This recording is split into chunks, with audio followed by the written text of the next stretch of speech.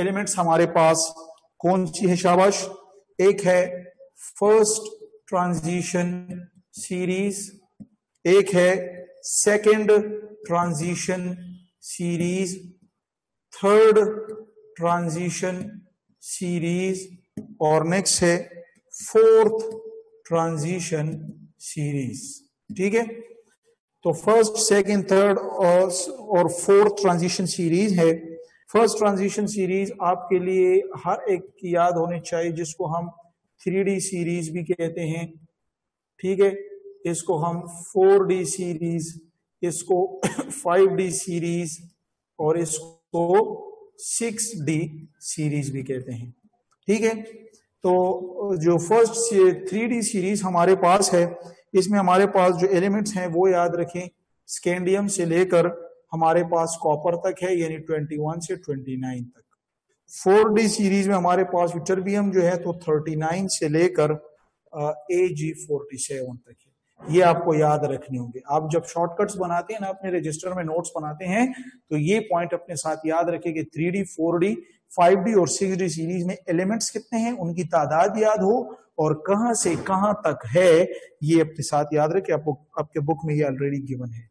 Lanthanum जो हमारे पास है तो ये 57 से लेकर जो फिनिश होते हैं तो हॉफमियम पे है 72 पर है। इस तरह जो लास्ट हमारे पास है तो वो एक्टिनम 89 से लेकर जो खत्म होता है तो ये रदरफोडियम यानी 104 पर रदरफोडियम 104 पर, और फिर इसमें नेक्स्ट जो है तो मेटनेरियम जो है तो 109 पर। तो ये एलिमेंट्स जो हैं तो आपके पास सीरीज़ बहुत ही इंपॉर्टेंट पॉइंट है हमारे पास। और ये इंपॉर्टेंट पॉइंट हमारे पास क्या है, शाबाश? कि आपको याद हो, आपको पता हो कि कौन कौन सी सीरीज़ यानी फोर सीरीज़ हैं और एलिमेंट्स क्या क्या हैं, ये भी आपके लिए बहुत ज़रूरी है, ठीक है? इसके बाद नेक्स्ट हम डिस्कस करेंगे हमारे पास ट्रांजिशन एलिमेंट की जर्नल फीचर्स हैं, ठीक है?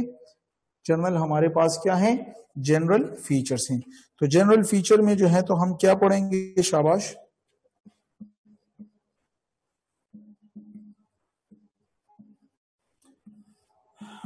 जनरल फीचर में हमारे पास जो फ़र्स्ट नंबर यानी पॉइंट्स हैं, जो हम पढ़ेंगे तो इसमें सबसे पहले हम पढ़ेंगे, जनाब, के इसका जो है तो इलेक्ट्रॉनिक स्ट्रक्चर जो है तो उसके बारे में हम पढ़ेंगे। ठीक है? क्या पढ़ेंगे, शाबाश?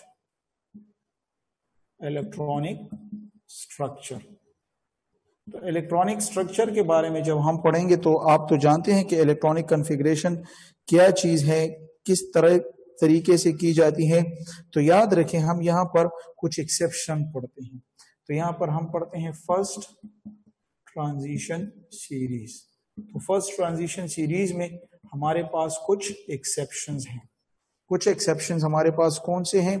यानी हमारे पास लेट से क्रोमियम है तो क्रोमियम का एटॉमिक नंबर 24 आता है, जिसको अगर हम लिखें तो अर्गान लिख लेंगे। अर्गान जो है तो ये आपको 18 कवर करता है, जबकि इसके बाद क्या होगा शाबाश?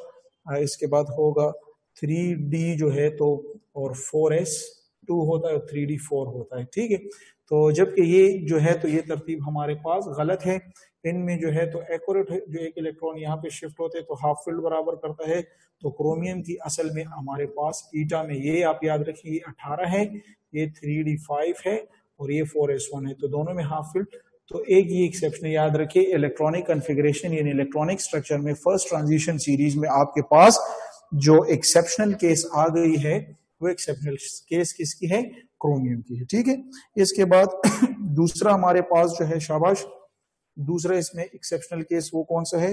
वो हमारे पास कॉपर 29 का है। यानी वो भी आपके कॉन्सेप्ट में यही बनेगा कि अर्गान मेरे पास 18 आ गया और इस तरह हमारे पास ये क्या आ गया? फोर एस टू आ गया और यह हमारे पास क्या आ जाता है? शाबाश थ्री डी नाइन आता है। थ्री डी नाइन तो ये उनतीस पूरा करता है। फिर वही बात, ये हमारे पास गलत होता है। इसमें भी ये एक इलेक्ट्रॉन यहाँ पे शिफ्ट हो जाता है तो हमारे पास जो इलेक्ट्रॉनिक कन्फिग्रेशन रह जाती है इलेक्ट्रॉनिक स्ट्रक्चर जो रह जाता है तो वो अर्गान अर्गान अठारह, ये थ्री डी टेन और ये फोर एस वन तो ये ठीक है। तो ये दोनों जो है, जनाब ये दोनों, एक ये पॉइंट एमसीक्यूज के लिए बहुत ज़रूरी है और एक ये पॉइंट भी ज़रूरी है।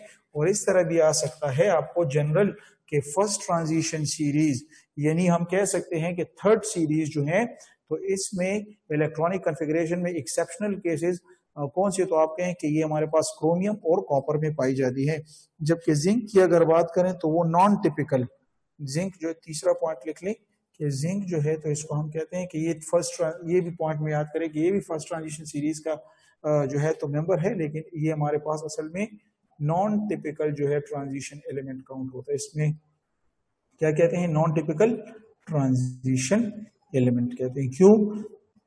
तो वजह यह है कि ये थ्री डी टेन है और जो फुलफिल होते हैं तो वो जो है तो हमारे पास नॉन टिपिकल ट्रांजिशन एलिमेंट में काउंट होते हैं। ठीक है? नॉन टिपिकल इसी ग्रुप में हमारे पास किडमियम और मरकरी, ठीक है? ये भी हमारे पास इसके लोअर मेंबर्स हैं, लेकिन वो फिर फोर डी और फाइव डी सीरीज़ और वो बकाया में काउंट होती हैं, ठीक है? तो हमारे पास ये बुनियादी जो है तो ट्रांजिशन सीरीज़ जो फ़र्स्ट ट्रांजिशन सीरीज़ के जो एक्सेप्शनल केसेस हैं, वो हमने डिस्कस कर लिए हैं कि कौन कौन से हमारे पास है। इसके अलावा जो है तो हमारे पास एक प्री ट्रांजिशन एलिमेंट जो है प्री ट्रांजिशन एलिमेंट ये भी आपको पता होना चाहिए क्योंकि स्टेंडियम से 21 से शुरू होते हैं ट्रांजिशन एलिमेंट्स और 21 से जब शुरू होते हैं तो यहाँ पर कैल्शियम हमारे पास ये ट्रांजिशन एलिमेंट्स हैं। और ये इससे पहले आते हैं तो इसको हम क्या कहते हैं?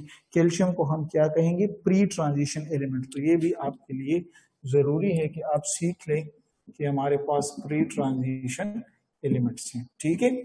तो ये जनरल कुछ इलेक्ट्रॉनिक स्ट्रक्चर के बारे में बात हुई। इसमें जो अभी जो बहुत ही ज़्यादा ज़रूरी है, इसी में इलेक्ट्रॉनिक स्ट्रक्चर में तो वो हमारे पास एटॉमिक साइज़ यानी आयानिक रेडियाई की बात कर रहे हैं कि लेफ़्ट से राइट में जाते वक्त क्या पोजीशन होती है? क्या इसके अंदर ज़रूरी पॉइंट्स हैं? तो उनको अभी हम यहाँ पे डिस्कस करेंगे। तो यहाँ पर अभी हम डिस्कस करते हैं एटॉमिक साइज़ को। इसको स्टडी करेंगे जनाब एटॉमिक साइज़ को। और एटॉमिक साइज़ को स्टडी करने के लिए इसमें आप क्या चीज़ पढ़ेंगे? इसमें हम जनाब पढ़ेंगे सबसे पहले कि एटॉमिक के साथ, यानी एटॉमिक रेडियो में क्या होता है? तो ये बात आप याद रखें कुछ चीज़ें हैं, एक एटॉमिक रेडियस यानी एटॉमिक साइज़ है तो उसमें हमारे पास दो चीज़ें हैं, ठीक है?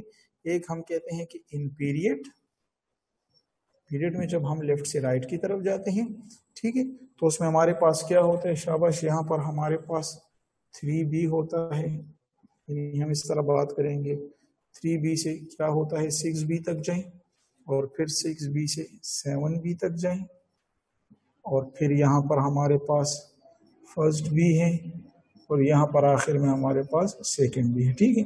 तो इसकी वजूहत जो है तो ये डायग्राम मैंने यहाँ पर ड्रा कर लिए। तो यहाँ से यहाँ के जब जाते हैं तो एटॉमिक रेडियस क्या होता है? डिक्रीज हो जाता है, ठीक है? इसके अलावा फिर क्या होता है शाबाश? यहाँ पे जो है तो क्या होता है? यहाँ तक वैल्यू जो होती है तो क्या होती है? कांस्टेंट रहती है जो है तकरीबन वही रहते हैं। लेकिन फिर यहाँ से यहाँ पे ऑनवर्ड जो हम आते हैं तो यहाँ पर वैल्यू स्लाइट इसमें क्या आता है? इंक्रीज आता है। शायद ये आपके बुक में हो या ना हो, लेकिन ये पॉइंट अपने साथ इन पीरियड वाइज जब हम एटॉमिक साइज़ की बात करते हैं ट्रांजिशन मेटल्स में तो हमारे पास क्या होता है कि value of atomic radius first decrease with increase atomic number ठीक है? जो है तो ये पहला पॉइंट एमसीक्यूज का कि पहले डिक्रीज होता है, ठीक है ना? Increase and then become almost constant और तकरीबन फिर यहाँ पर जो है तो क्या हो गया? यहाँ पर डिक्रीज यहाँ पे कांस्टेंट और फिर स्लाइटली जो है तो almost constant and finally increase slightly ठीक है?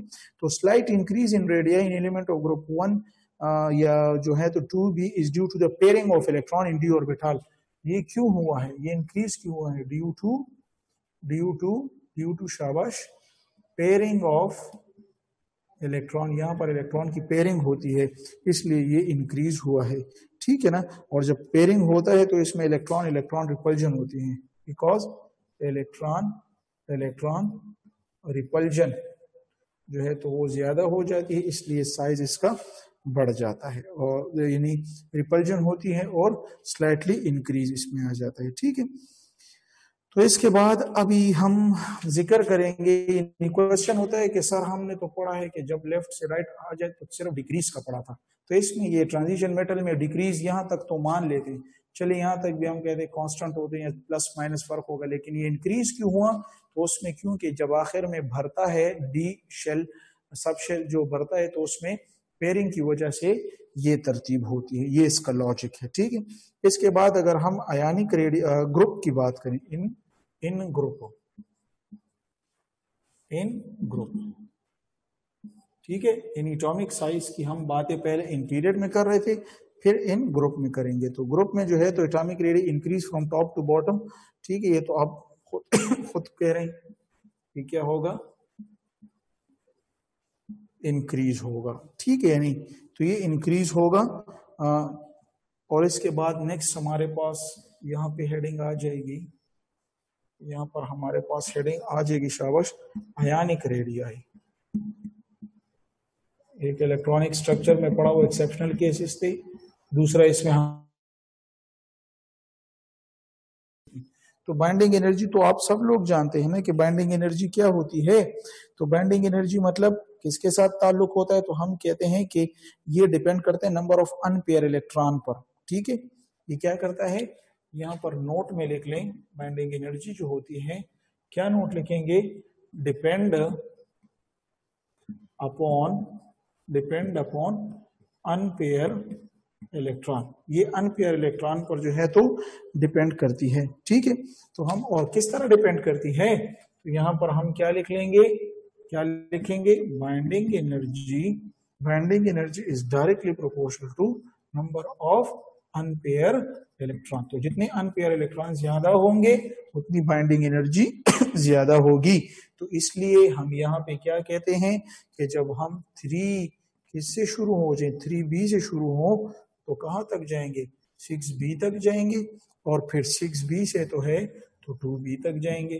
तो यहाँ पर हमारे पास एक बॉर्डर लाइन सी आ जाएगी और हम कहेंगे जब यहाँ तक आएँगे तो यहाँ तक क्या होगा? यहाँ तक बाइंडिंग एनर्जी जो होगी यहाँ से बाइंडिंग एनर्जी क्या होगी? इंक्रीज होगी। ठीक है ना? हम्म, वजह क्या है? वजह क्या है? क्योंकि अनपेयर इलेक्ट्रॉन जो थे तो वो ज़्यादा हो रहे थे। ठीक है ना? तो इसलिए जो है तो इसका बॉइलिंग पॉइंट भी जो होगा तो ज़्यादा होगा। इसलिए इसका जो मेल्टिंग पॉइंट है तो वो भी ज़्यादा होगा। तो ईटा के लिए याद रखें कि as we move in the transition series from left to right तो थर्ड बी से सिक्स बी तक binding energy increase unpaired electron increase और इस तरह अनपेयर इलेक्ट्रॉन इंक्रीज तो बाइंडिंग एनर्जी तो बेल्डिंग पॉइंट और मेल्टिंग पॉइंट भी इंक्रीज लेकिन अगर हम यही बात क्या करें, अगर हम यहाँ से यहाँ तक की बात करें तो इसमें हम क्या कहेंगे कि इसमें बाइंडिंग एनर्जी जो होती है तो आहिस्ता आहिस्ता डिक्रीज होना शुरू हो जाती है। जो अनपेयर इलेक्ट्रॉन होते हैं, वो भी कम होना शुरू, यानी पेयरिंग स्टार्ट हो जाती है, जिसकी वजह से हम कहते हैं कि इसका बॉइलिंग पॉइंट भी कम होगा और इसका मेल्टिंग पॉइंट भी कम होता जाता है। तो ये पॉइंट अपने साथ बहुत ज़रूरी है कि याद कर लें, इसमें आपने बाइंडिंग एनर्जी भी सीख लिया है और बाइंडिंग एनर्जी के साथ साथ आपने बॉइलिंग पॉइंट और मेल्टिंग पॉइंट का रीजन भी जो है तो वो आप जान चुके हैं, आप समझ चुके हैं। ठीक है? राइट इसमें नेक्स्ट हमारे पास है वेरिएबल ऑक्सीडेशन स्टेट की बात आ रही है। यानी कि जितने भी ये जो हमारे पास ट्रांजिशन एलिमेंट्स हैं, ये वेरिएबल ऑक्सीडेशन स्टेट शो करें। या अगर मैं आपको बात करूँ मेल्टिंग पॉइंट बॉइलिंग पॉइंट के मैं इधर और भी आपको एक्सप्लेन कर लूँगा। तीसरा नंबर मेल्टिंग पॉइंट और बॉइलिंग पॉइंट मेल्टिंग पॉइंट और बॉइलिंग पॉइंट तो मेल्टिंग पॉइंट और बॉइलिंग पॉइंट की अगर मैं बात करूँ तो पहला पॉइंट मेरे पास क्या होगा? मेल्टिंग पॉइंट और बॉइलिंग पॉइंट जो है हमारे पास, वो डायरेक्टली प्रोपोर्शनल है किसके? मेटालिक शाबाश बॉन्ड स्ट्रेंथ के। जितनी मेटालिक बॉन्ड स्ट्रेंथ ज़्यादा होगी, उतना बॉइलिंग पॉइंट मेल्टिंग पॉइंट ज़्यादा होगा। एक अपने साथ ये याद कर लें। दूसरा ये याद कर लें कि मेटालिक बॉन्ड स्ट्रेंथ जो होती है, वो जनाब इनवर्सली प्रोपोर्शनल होती है मेटालिक करेक्टर के। ठीक है? मेटालिक करेक्टर के। ये हमारे पास दूसरा पॉइंट हो गया। तीसरा पॉइंट ये है कि मेल्टिंग पॉइंट और बॉइलिंग पॉइंट जो होता है, वो डायरेक्टली प्रोपोर्शनल होता है। Number of unpaired unpaired electron के। ये आपके पास तीसरा पॉइंट आ गई। ये सारे पॉइंट अपने साथ नोट करते जाएँ आप। और नेक्स्ट जो है तो फिर वही बात है कि पीरियड में क्या होता है? टॉप से बॉटम और ग्रुप में क्या होते हैं? तो पीरियड में तो अभी आपको मैं यहाँ पर बॉइलिंग पॉइंट मेल्टिंग पॉइंट पढ़ा भी चुका हूँ, ठीक है? तो वो पेयरिंग और बॉन्डिंग एनर्जी के साथ ताल्लुक और ग्रुप में जो है तो टॉप टू बॉटम जो है तो मेल्टिंग पॉइंट जो है तो वो क्या होता है? शाबाश इंक्रीज होता है। क्लियर है ना? तो ये पॉइंट अपने साथ याद रख लें। इसके बाद हम जाएँगे वेरिएबल ऑक्सीडेशन स्टेट की तरफ़। इसकी जनाब तरफ़ जाएँगे जनाब वेरिएबल वेरिएबल ऑक्सीडेशन स्टेट की तरफ़ जाएँगे। वेरिएबल ऑक्सीडेशन स्टेट की तरफ़ जाएँगे।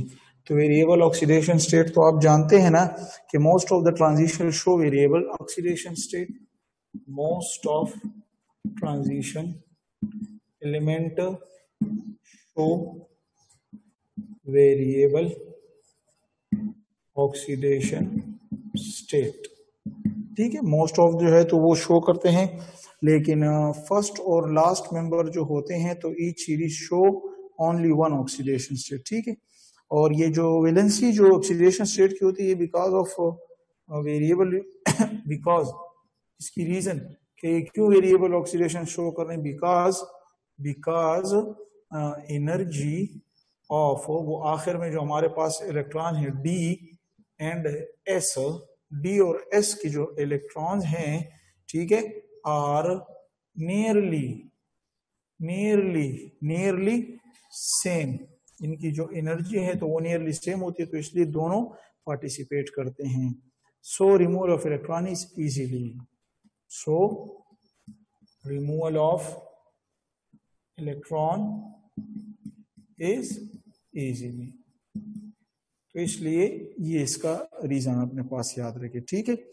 और हम इस तरह भी कर सकते हैं कि इसमें हम इस तरह भी कह सकते हैं कि डी एंड एस यानी आखिर में जो डी में डी और एस इलेक्ट्रॉन जो होते हैं तो आप इस तरह कह सकते हैं कि both take part part in bond formation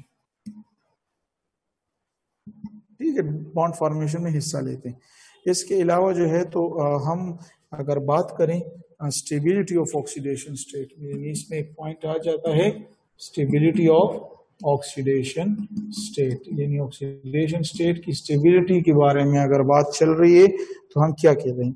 हम कह रहे हैं कि यहाँ पर अगर हमारे पास दस मेंबर होते हैं हर एक पीरियड में तो अगर फ़र्स्ट फाइव एलिमेंट्स हम ले किसी भी थ्री फ़र्स्ट ट्रांजिशन सीरीज़ के और फिर ले लास्ट फाइव एलिमेंट्स कौन से लें शाबाश? फ़र्स्ट फाइव एलिमेंट्स और फिर लास्ट फाइव एलिमेंट्स अगर हम उनको लें तो इनकी क्या तरतीब जो है तो बराबर होगी। तो ये जो फ़र्स्ट फाइव एलिमेंट्स हैं तो ये हमारे पास जो होंगे तो स्टेबल होंगे। ये हमारे पास टेबल किसमें होते हैं? ये एक फॉर्मूला बनाया गया इसके लिए इन हाइयर ऑक्सीडेशन स्टेट ईटा के लिए बहुत ज़रूरी है कि पहले पहले पाँच मेंबर जो होते हैं तो वो हाइयर ऑक्सीडेशन स्टेट में जो है तो खुश होते हैं। यानी मैं अगर आपको पहले बात करूँ सीरीज़ का तो पहली, यानी फ़र्स्ट ट्रांजिशन सीरीज़ के जो एलिमेंट है तो उसके जो मेंबर्स हैं तो वो है scandium titanium vanadium chromium manganese iron cobalt nickel और कापर फिर लोग कहते हैं कि ये तो हमें याद नहीं होती। तो कम अज कम केमिस्ट्री अगर आप जान रहे तो पहली सीरीज़ के लिए तो आपको याद होनी चाहिए। और इसका निमोनिक है, Sachin Tendulkar very crazy man फिर कोई नई सेंचुरी बनाई। ये इंडिया वाले बनाई को जमाई कहते हैं तो इसलिए जिंक जमाई जेड में आता है, ठीक है? फिर सुन लें। Sachin Tendulkar very crazy man Sachin Tendulkar very crazy man ये फिर को फिर कहते हैं इंडिया वाले तो इसलिए फिर फिर का एफ़ ई मतलब आयरन कार है। फिर कोई नई सेंचुरी यानी कॉपर सी यू सेंचुरी जमाई मीन्स जमाई, या हम तो बनाई कहते हैं उर्दू में, वो इंडियन जो उर्दू होती है, उसमें थोड़ा अल्फाजों का फ़र्क होता है। तो फ़र्स्ट ट्रांजिशन सीरीज़ में फिर मैं आपको पढ़ के बता रहा हूँ, सचिन तेंदुलकर, यानी scandium, titanium very crazy man यानी वेनिडियम क्रोमियम और मैंगनीज फिर कोई नई यानी आयरन कोबाल्ट निकल सेंचुरी जमाई कॉपर और जिंक तो जो इस पे समझ गए हाथ उठाएँ, शाबाश। जो स्टूडेंट समझ चुके हैं या मुझे सुन रहे हैं, हाथ उठा लें। वेरी गुड शाबाश। ये अपने साथ आप पीटा के लिए जुबानी याद रखें कि फ़र्स्ट ट्रांजिशन सीरीज़ अच्छा इसमें पहले मेंबर पाँच कौन से हैं? देखिए ना, Sachin Tendulkar very crazy man ये पाँच पहले मेंबर है अच्छा? यानी स्केंडियम टाइटेनियम वेनेडियम क्रोमियम और मैंगनीज तो ये जो है तो ये स्टेबल होते अपनी हायर ऑक्सीडेशन स्टेट में। और बाकी जो हमारे पास जो पाँच मेंबर हैं तो ये हमारे पास क्या होते हैं? स्टेबल होते हैं। सर, कैसे? ये आप लोग जो कैसे वाले क्वेश्चन ज़्यादा करते तो इसका मज़ा नहीं होता। अच्छा बस ये याद रख ले। स्टेबल होते हाइयर ऑक्सीडेशन स्टेट में और ये स्टेबल होते हैं इन लोअर ऑक्सीडेशन स्टेट में। क्यों? क्योंकि जब आप कैसे है, इसका रीजन है ना, आप जरा इलेक्ट्रॉनिक कन्फिग्रेशन करें ना तो इसकी जब हाइयर ऑक्सीडेशन और लोअर ऑक्सीडेशन स्टेट में खुद आपको ऑर्बिटल की स्टेबिलिटी ऑर्बिटल फुल फुल या हाफ़ फ़ील्ड होते हैं तो वो स्टेबल होते हैं और जो पार्शियली फ़ील्ड होते हैं तो वो अनसेफ तो उससे आपको खुद ही पता चल जाएगा। हर एक आप लिख लें तो आपकी प्रैक्टिस हो जाएगी, ठीक है? तो ये हमारे पास है। दूसरा, इसमें अगर आपको मैं एक और इम्पोर्टेंट क्वेश्चन यहाँ पर बता दूँ कि अगर आपको एमसीक्यूज आ जाए, अगर आपको एमसीक्यूज आ जाए कि कोवेलेंट नेचर जो है तो किसका ज़्यादा है? यानी वी वेनिडियम क्लोराइड इसमें हमारे पास है वेनिडियम ट्राई क्लोराइड और फिर मेरे पास आज वेनिडियम डाई क्लोराइड तो इसमें से जो है तो मुझे कोयलेंट नेचर बताओ। कोयलेंट नेचर ऑर्डर बताएँ। क्या बताएँ? कोयलेंट नेचर ऑर्डर इसमें बताएँ कि कौन से ठीक है। तो हम कहते हैं, यहाँ पर मैं इसके लिए एक ट्रिक बता देता हूँ। और वो ट्रिक ये है हमारे पास कि कोवेलेंट नेचर जो होता है कोवेलेंट नेचर जो होता है, वो डायरेक्टली प्रोपोर्शनल है ऑक्सीडेशन नंबर के। वो डायरेक्टली प्रोपोर्शनल होता है ऑक्सीडेशन नंबर के। ऑक्सीडेशन नंबर जरा आए ना, यहाँ पर प्लस फोर है, क्योंकि ये माइनस वन है तो ये माइनस फोर ये प्लस फोर ये माइनस थ्री तो ये प्लस थ्री माइनस टू तो प्लस टू तो ये ज़्यादा है तो इसका ये इसका इज़ इट क्लियर तो ये बहुत ही इंपॉर्टेंट क्वेश्चन है कि अगर आपसे ईटा में आपको ट्रांजिशन एलिमेंट में पूछे कि कोवेलेंट नेचर ऑक्सीडेशन नंबर के डायरेक्टली प्रोपोर्शनल है। ठीक है? इस तरह कोवेलेंट नेचर के बाद एसिडिक करेक्टर है। अभी है, एक और एमसीक्यूज आता है एसिडिक करेक्टर इसमें आता है एसिडिक करेक्टर तो एसिडिक करेक्टर के लिए क्या आप लिखेंगे? उसके लिए भी आप लिख उसके लिए भी लिखें कि एसिडिक करेक्टर जो है हमारे पास वो डायरेक्टली प्रोपोर्शनल होता है। वही बात है ऑक्सीडेशन नंबर के। जनाब तो ये भी इसके लिए याद रखें। अभी मैं आपको इस पे एक एग्जांपल यहाँ दे रहा हूँ। एग्जांपल में मैं लिखूँगा कि मेरे पास क्या है? M N two O seven दूसरा है एम एन ओ थ्री तीसरा है एम एन ओ टू ठीक है? तीसरा इस तरह सो सो ऑन ठीक है? तो इसमें एक एम सी क्यूज आ जाता है आपको। एक और एम सी क्यूज में बना दूँगा। एक और एम सी क्यूज में बना दूँगा। इसी तरह कोई इतनी बड़ी बात नहीं है। देखिए C R O three C R O two या सी आर ओ ओ थ्री और आ जाते हैं सी आर ओ तो इसमें से अगर दोनों एमसीक्यूज में आपसे पूछा जाए कि एसिडिक करेक्टर मुझे बताएँ किसका ज़्यादा है तो सिंपल बात है जनाब, इसका सबसे ज़्यादा फिर ये, फिर इसमें इसमें ये ऑर्डर याद रखें।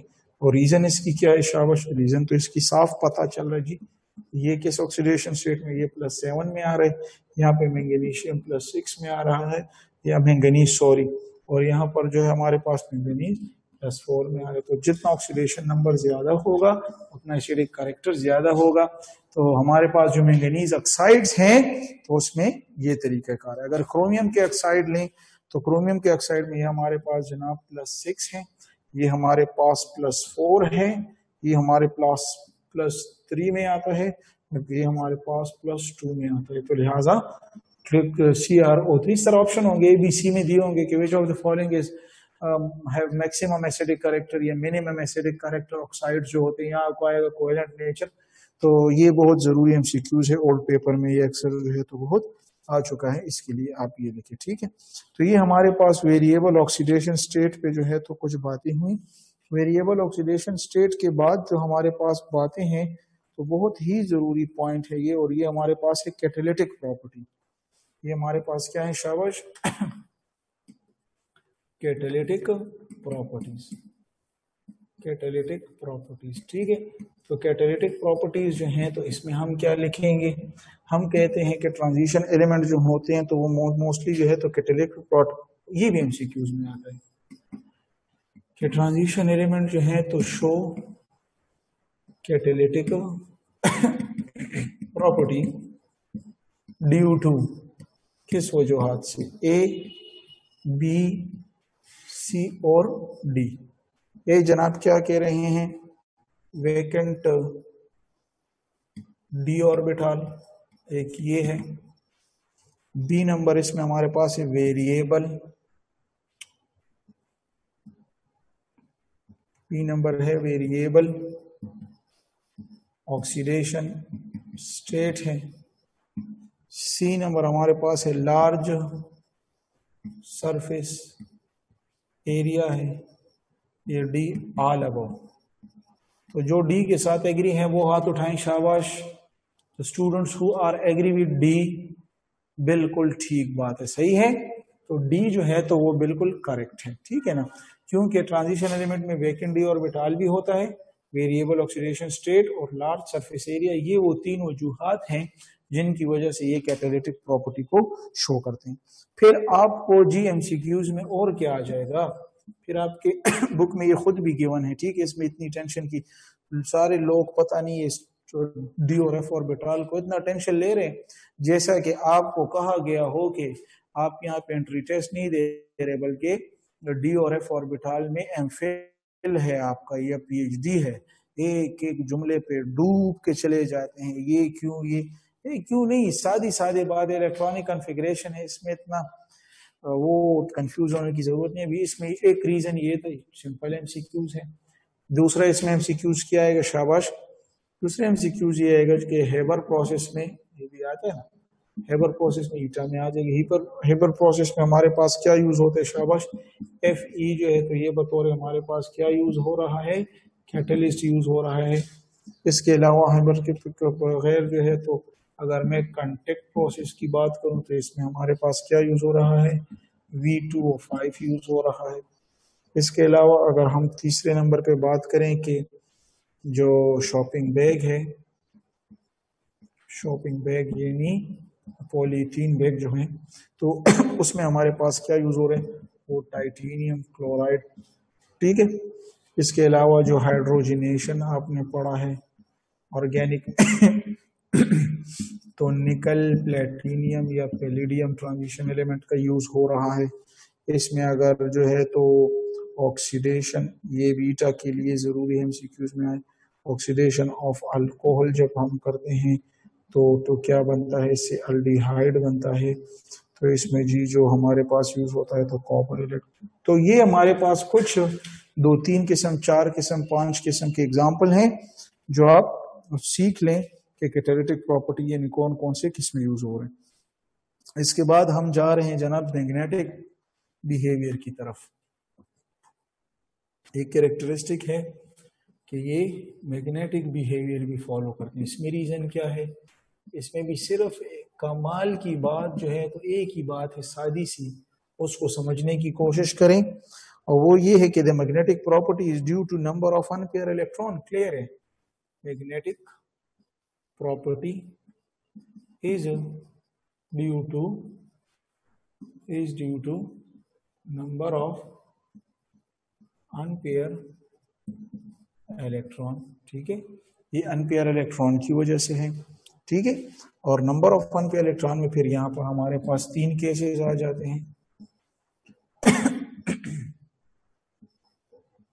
अगर मेरे पास नंबर एन ज़ीरो हो, ये एन जो है तो ये नंबर ऑफ़ ये नंबर ऑफ़ अनपेयर इलेक्ट्रॉन को मैं ज़ाहिर कर रहा हूँ, ठीक है? या मेरे पास अगर n is equal to one हो टू हो, या थ्री हो, और अगर एन की वैल्यू मेरे पास फोर हो फाइव हो, या सिक्स हो तो ये तो आपको पता है, जब एन ज़ीरो होगा तो इसमें हमारे पास क्या होगा, शाबाश, इसमें हमारे पास कौन से आएँगे?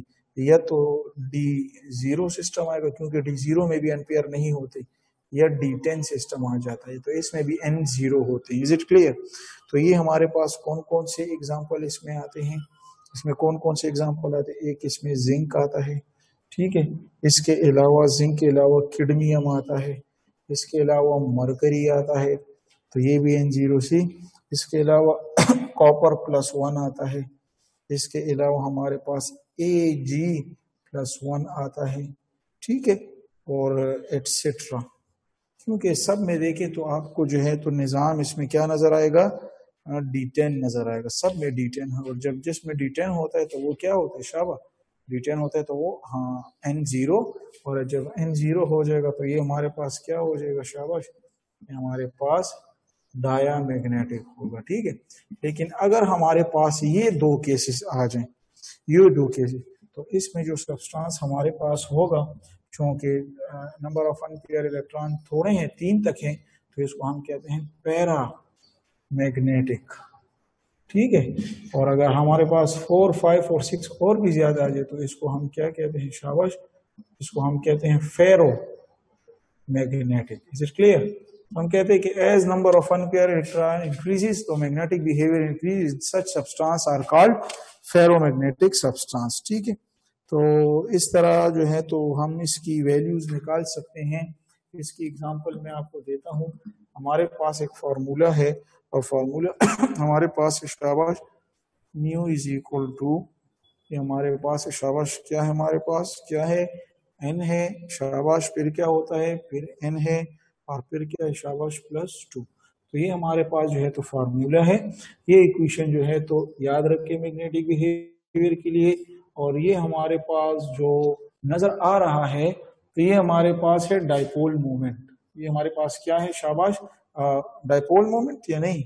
ये हमारे पास है जी मैग्नेटिक मोमेंट सॉरी ये हमारे पास है मैग्नेटिक ये हमारे पास आ रहा है मैग्नेटिक मोमेंट ये कैसे नज़र फाइंड करेंगे? इसमें मैं आपको यहाँ पर एक एग्जांपल दे रहा हूँ। और एग्जांपल हमारे पास ये है कि अगर मेरे पास एन वन हो एन वन हो, एक अनपेयर इलेक्ट्रॉन हो, इसके लिए वैल्यू क्या होगी? तो म्यू टू फॉर्मूले में वैल्यू पुट करें एन की जगह वन फिर एन की जगह वन और ये टू तो इससे हमारे पास आ जाएगा वन इंटू थ्री और इसको जब हम स्क्वेयर रूट लेंगे तीन का तो इससे जवाब आएगा 1.73 और यूनिट इसका हमारे पास बी एम हो जाएगा। बी एम का मतलब है बोहर मैग्नेटान। बी एम का यूनिट क्या है? मतलब क्या है? बोहर मैग्नेटॉन ये यूनिट है, ठीक है? तो ये हमारे पास देखिए, ये मैग्नेटिक मोमेंट आ गई। मैग्नेटिक अट्रैक्शन इतनी होगी। लेकिन अगर हम इस पे क्या करें? चले। हम यहाँ पर क्या करते हैं? एक लाइन ड्रा करते हैं यहाँ पे मैं लिखता हूँ कि अगर मेरे पास एन टू हो जाए, दो तो फिर क्या होगा? तो मैग्नेटिक मोमेंट तो क्या हो जाएगा? शाबाश, फिर यहाँ पे टू और यहाँ पे आ जाएगा टू प्लस टू तो यहाँ पे आ जाएगा जनाब टू और ये जनाब हो जाएगा फोर यानी फिर आ जाएगा ये फोर टू एट तो इसकी जो वैल्यू हमारे पास आएगी तो वो आ जाएगी two point eight Bohr magneton. तो खुद देखें खुद देखें, खुद डिसाइड करें। जब एन की वैल्यू वन थी तो हमारे पास मैग्नेटिक मोमेंट की वैल्यू कम आई। लेकिन जब एन की वैल्यू टू होगी एन पेयर दो इलेक्ट्रॉन तो वैल्यू ज़्यादा तो इस तरह आप बोहर मैग्नेट्रॉन को कैलकुलेट कर सकते हैं। अगर ईटा में आपको क्वेश्चन आ जाए कि let suppose if we have three और टू इलेक्ट्रॉन तो बस ये तो सिंपल बात है कि थ्री का ज़्यादा होगा, लेकिन अगर ऑप्शन में कौन सा होगा तो इस फॉर्मूले को आप अपने साथ याद रखें। इससे कैलकुलेट करके ये एन जो है तो number of electron unpaired electron को ज़ाहिर करता है और इससे अपने लिए आप जो है तो जवाब को निकालें। ठीक है? नेक्स्ट हमारे पास जब मैग्नेटिक बिहेवियर और उसका फॉर्मूला रिलेटेड आप कर लें कवर कर लें तो नेक्स्ट हमारे पास आता है एलाई फॉर्मेशन नेक्स्ट हमारे पास आता है एलाई फॉर्मेशन यानी एलाई का बनना. एलाई तो आपको पता है ना एलाई को हम सिंपल क्या कहते हैं? इसको हम कहते हैं मिक्सचर ऑफ़ मेटल इसको हम क्या कहते हैं जनाब? Mixture of metals mixture of metals को जो है तो हम एलाई का नाम देते हैं। तो एलाई जो है तो फिर रीजन क्या होती है? यानी ये एलाई क्यों बनाती है? इसका रीजन ये होता है कि transition element can easily form alloy because their atomic size almost equal MCQs का क्वेश्चन है इनके एटॉमिक साइज़ में थोड़ा थोड़ा फ़र्क होता है तो इसलिए लिखते हैं कि their atomic size almost equal so mutually substitute one another in the crystal lattice तो एक दूसरे को रिप्लेस करके उसकी जगह घेर सकते हैं, इसलिए एलाई बना सकते हैं। बहुत इंपॉर्टेंट पॉइंट लिखें कि ट्रांजिशन एलिमेंट्स पॉइंट बहुत ज़रूरी है जनाब ईटा में के लिए याद रख लें। एमसीक्यूज में इस पूरे जुमले में ऑप्शन बन सकते हैं। तो transition elements atomic size is atomic size is what almost almost what almost equal almost equal so so so what mutually so that mutually क्या करते हैं? Substitute one another substitute one another एक दूसरे को सब्सिट्यूट करते हैं इस इन इन crystal latus ठीक है? तो इसलिए ये हिलाई बनाते हैं। तो ये वो एमसीक्यूज पॉइंट है, जो कि बहुत ज़रूरी है। जिस तरह आपने मैग्नेटिक बिहेवियर पढ़ा कि किस वजह से बैंडिंग एनर्जी कैसे क्यों ज़्यादा है मेल्टिंग पॉइंट बॉइलिंग पॉइंट क्यों ज़्यादा है, बतौर कैटलिस्ट क्यों यूज़ होते हैं। हर एक में थोड़ी थोड़ी एक एक लॉजिक था। जो आपको कंसेप्ट क्लियरेंस दे रहा है। लेकिन अगर आपसे लाइफ फॉर्मेशन तो उसमें ये लॉजिक जो है तो आप उसको क्लियर कर लें और फिर इसी के साथ आप याद कर लें कि पर्पस ऑफ़ एलाइंग हम क्यों करते हैं? सिक्यूज में ये आ जाता है। Purpose of purpose of alloying यानी एलाइंग हम करते क्यों मेटल को एक दूसरे से मिलाते क्यों जनाब वजह की होती है। तो इसका सबसे बेहतरीन जवाब है कि achieve achieve water high melting point melting point और दूसरा हम वट प्रिवेंट इट्स सरफेस क्योंकि सरफेस पे एलाई करते तो फिर क्रोजन नहीं होती और उसके सरफेस को प्रिवेंट कर दिया जाता है। ठीक है? तो ये इसकी बहुत जो है तो कॉन्सेप्ट है कि इलाइंग हम क्यों करते हैं। फिर इसके बाद जनाब एमसीक्यूज में फिर वही बात आ जाती है। आप बुक से फॉलो करें एक टेबल बना हुआ है, जिसमें आपको बताया गया है कि एक ब्रास हमारे पास है, एक ब्रॉन्ज हमारे पास है, इसके अलावा स्टील हमारे पास है, इसके अलावा गोल्ड है 18 कैरेट वाला, ठीक है, एक 18 कैरेट है और एक गोल्ड हमारे पास है 24 कैरेट वाला, ठीक है ना? तो ये हमारे पास गोल्ड होते हैं। तो ये ये ईटा का बहुत ज़रूरी एमसीक्यूज है कि ये जो 24 कैरेट गोल्ड जो होते हैं तो ये क्या होता है? ये 100 परसेंट जो होता है तो गोल्ड होता है। और ये बहुत नरम होता है 24 कैरेट का गोल्ड आप हाथ से जो है तो उसको इस तरह मरोड़, तोड़, मरोड़ भी सकते हैं, ठीक है ना? और 18 कैरेट का जो गोल्ड है तो ये अक्सर, ये भी आपको आ सकते हैं कि इसमें हमारे पास गोल्ड जो होता है ए यू जो होता है तो सत्तर से लेकर पचहत्तर फ़ीसद तक, और बाकी हमारे पास कॉपर इसमें होता है, वो 20 से लेकर 25 फ़ीसद तक। तो ये ईटा में क्वेश्चन एक दफ़ा आया था ओल्ड पेपर्स में कि 18 कैरेट गोल्ड में आपके गोल्ड में कौन सा मेटल होता है तो वो कॉपर होता है, और ये ये भी आ सकते हैं कि कितनी परसेंटेज में होते और बाकी ये जो है तो स्टील और ब्रास और बोन्स तो ये तो आप जो है तो बुक से टेबल को थोड़ा स्टडी कर ले, और इसकी परसेंटेजेस जो है तो उनको आप कवर करें तो ये जो है तो आपका कवर हो जाएगा, ठीक है? तो ये हमारा मैग्नेटिक बिहेवियर और एलाइन के बारे में कुछ बातें हुई और कुछ जर्नल इंफॉर्मेशन आपने हासिल की। इसके नेक्स्ट जो हम स्टडी करेंगे तो वो हमारे पास होगा जनाब जो इसके जो केमिस्ट्री है, जो एलिमेंट्स हैं उनकी केमिस्ट्री, वेनेडियम, क्रोमियम और इसकी तो इन ताला वो हम कल इसको कवर करेंगे ठीक है उम्मीद करता हूं कि आप इस पॉइंट को समझ चुके होंगे इससे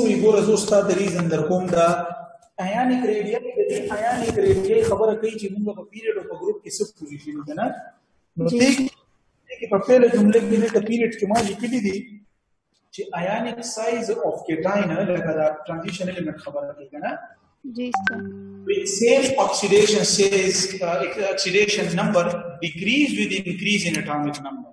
ठीक देखा ना? जी. कमी ही बात सही देखा ना? लगा जी sir. ತಾಸು ಜಗದಿ ಎಕ್ಸಾಂಪಲ್ ವಸದರ್ ಕಮ್ ತಬಪಿಲ ಗಡೇ ಕ್ಲಿಯರ್ ಶಿಕನ जो ओस्ताद जो तवे मो चिमा तो वो पेलेन ट्रांजिशन सीरीज़ की कम एलिमेंट्स में दर्द होने मोने कोलियो लग रहा था वो वैशाबा सर स्कैंडियम सचन बल Tendulkar very crazy crazy man फिर कोई नहीं सेंचुरी जमाई वेरी का तकड़ा है kan ठीक show da pele ne group that transition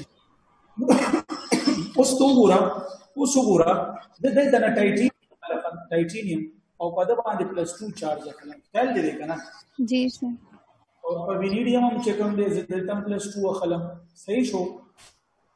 जी तो क्रोमियम हम चेक करेंगे प्लस टू और कलम सही तो होगा ना? और manganese बम प्लस टू वाला और आयरन बम प्लस टू वाला और स्टोन आइंस भी करना था हम असल में नहीं करना। जी सर कैटाइंस हाँ, और तो टोल कैटाइंस भी प्लस टू और चार्ज के सेम नहीं हो रहे ionic size of cation with same oxidation number decreases मतलब दे मतलब दादे चिपदी के बस साइज़ चिकम दे दे अड़स तजी